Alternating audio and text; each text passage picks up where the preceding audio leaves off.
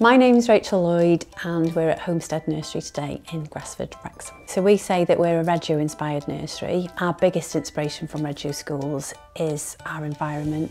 The, the environment is the third teacher. So staff obviously support the children, parents and the wider community support the children, but our environment also supports them to be independent. And I think you can recognise a homestead room, a homestead space, because of what's in it, what's included in, in our environment. We think it's super important to offer children choice. The resources that we offer children as well, such as loose parts, open-ended resources, and also authentic resources. So we have real objects that the children play with. That shows that we value the children, that obviously supports their well-being, develops their confidence, which in turn develops their independence. We're always interested in looking at the latest research and putting that research into practice. So we've looked at children, obviously babies, their weaning stage. Really, really early on, children are encouraged to self-feed, so using finger foods. That then develops to our toddler children, and then that develops then to our oldest children